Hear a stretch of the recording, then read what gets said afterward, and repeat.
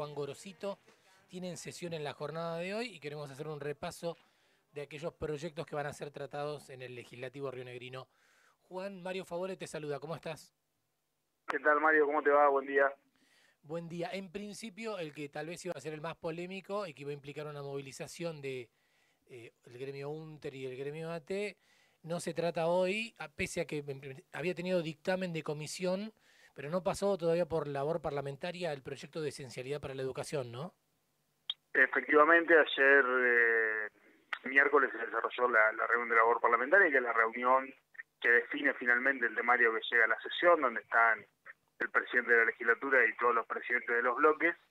Y bueno, en esa reunión se definió que finalmente ese tema no estaría en el orden del día de hoy, así que eh, quedará el, proyecto de todas maneras, tiene eh, estado parlamentario por supuesto, y quedará para, para abordar seguramente más adelante. Eh, es un proyecto presentado por la bancada del PRO. Bien, en definitiva eso termina siendo un, acuerdo político en esa charla que se da en la labor parlamentaria, midiendo los tiempos a ver si consideran que es conveniente que se trate ¿O hubo alguna objeción? Yo entiendo que no, porque si ya tiene estado parlamentario, no se modifica, al menos hasta que tenga paso por primera vuelta y puede ser un proyecto de, de dos vueltas, ¿no? Y ahí se aplica algún tipo de cambio, ¿no? Sí, efectivamente es un proyecto de dos vueltas eh, que, bueno, eh, obviamente el, sistema eh, parlamentario renegrino parece que entre la primera y la segunda vuelta los proyectos pueden tener modificaciones, es un plazo que se le da también a la población eh, para poder intervenir eh, y, realizar las sugerencias correspondientes. Pero bueno, en este caso eh, en particular, el, proyecto está mm, aprobado en las comisiones correspondientes, pero no llegó al recinto. Esto implica que eh, habrá que ver cuál es el futuro del proyecto, si se discute en el marco probablemente de una nueva ley de educación que podría impulsar el Poder Ejecutivo eh, se ingresa como un ítem más en ese en ese proyecto más amplio o si continúa su marcha eh, en solitario, ¿no? Pero bueno, eso se verá seguramente en las próximas semanas. Bueno, es interesante esa, esa opción también, habrá que estar atentos. Em, ¿Qué otros proyectos son los que se destacan en la jornada de hoy, Juan? Bueno, hay muchos proyectos, eh, varios de comunicación y declaración. Eh, los proyectos de ley concretamente son eh, una quincena eh, y eh, los más determinantes son los presentados por el Poder Ejecutivo. Por un lado, la nueva ley de ministerios. ustedes saben que el gobernador Beretinega ha planteado una reforma en su esquema de ministros con la creación de dos nuevas carteras.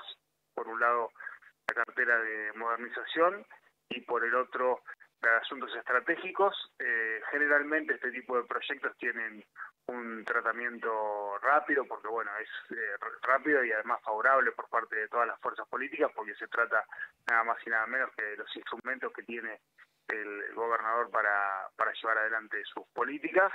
Eh, y bueno, después hay una serie de, de proyectos vinculados a disolución de entes como mm, la agencia Innova, que es la agencia de Innovación y Economía del Conocimiento, eh, y bueno, el, el, ente de, desarrollo eh, del margen sur, el ente de, desarrollo del oeste rionegrino, se llama ENDESIC, eh, y eh, el ente de la corporación del corredor bioceánico norpatagónico también, este ente que fue creado allá por 2005 y que, bueno, en este momento la el Poder Ejecutivo está eh, enviando para, para su debate y, disolución, son entes que deben disolverse por ley porque fueron creados por ley, por lo tanto este, va a ser parte del debate en la jornada de hoy. Después eh, también destacado eh, la, adhesión al régimen de regularización de activos